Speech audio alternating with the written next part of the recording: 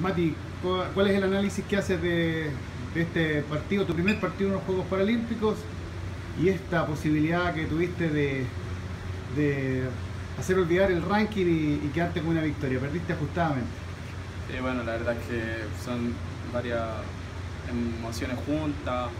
Obviamente cuando salió el partido estaba muy triste, angustiado, pensando que podía haber hecho algo más fue partido muy, de hecho fue es lo que siempre he soñado, ganarle a un top en un juego paralímpico, pero bueno, las cosas pasan por algo y al dar vuelta a la página, que mañana tengo un partido más importante que el de hoy, ya que tengo que ganar para poder soñar con pasar de fase.